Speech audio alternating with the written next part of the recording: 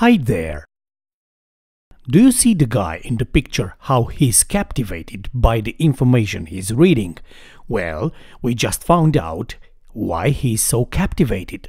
It says in the media that the model presented today weighs over 600 grams. Are you also captivated now?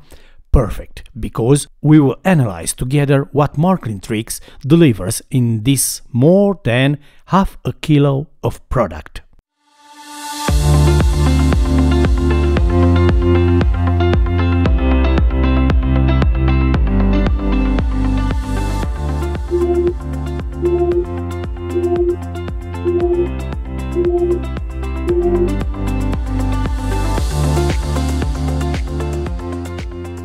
Yep, you see very well. These are the weights by each half of it and that's the total. By the way, Trix code number for this locomotive is 25666.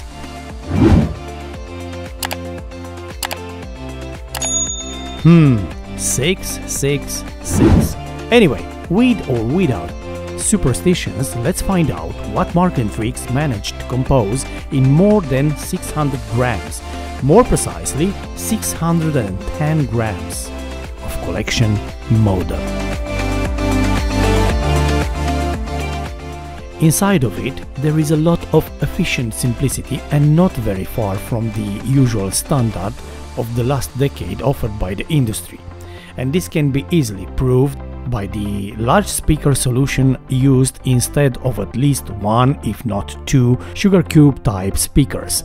Let's hope or wish that the supply chain of Marketing tricks will discover in 2024 the capacitor, the power pack, and maybe the sugar cube type speakers.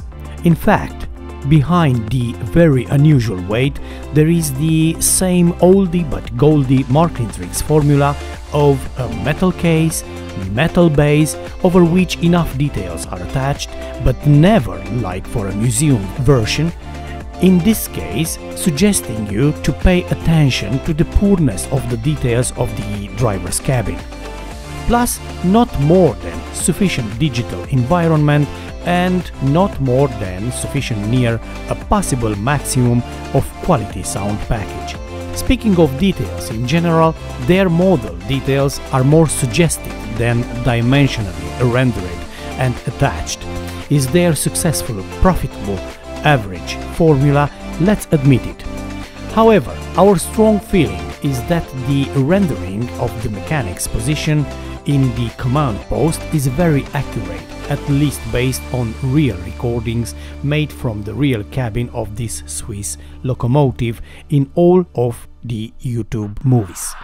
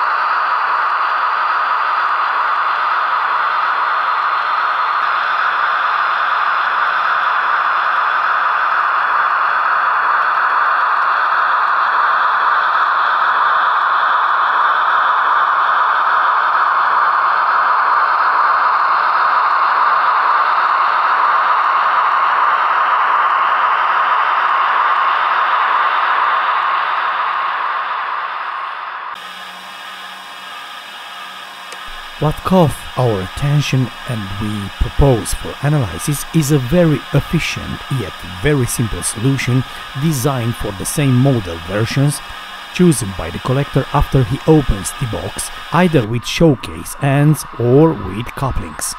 If you want a coupler installed, you just dismantle the corresponding cutout and the coupler will do its job among the showcase elements left in place. It reminds us of the famous Russian pen story in the cosmic space. It is an H0 scale locomotive, very powerful, in addition to being very heavy. A qualitative chapter in which Marketing Trix never disappoints.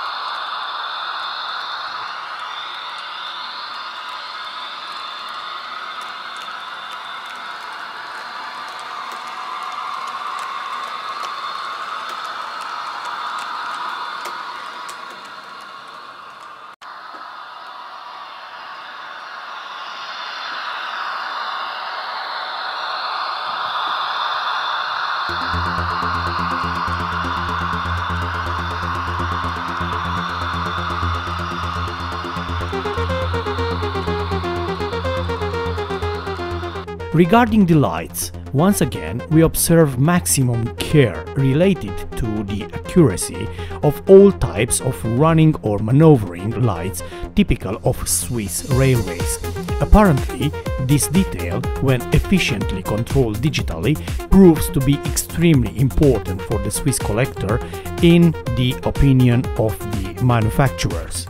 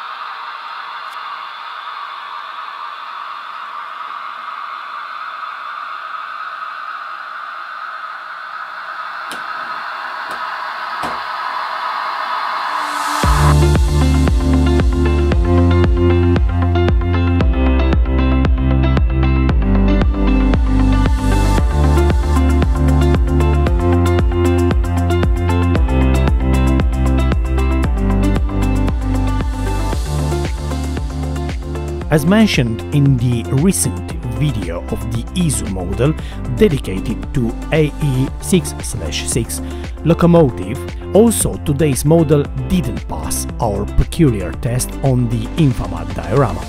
Definitely it's a limitation of the bogie movement to the laterals, which is not a defect at all, as the model shouldn't run over there more than a few centimeters. In the end, only one conclusion after observing and evaluating this model. Swiss trains, especially Swiss locomotives, look somehow like stories. Nice and old stories where everything nice is possible. And this model will deliver this to the collector. Absolutely.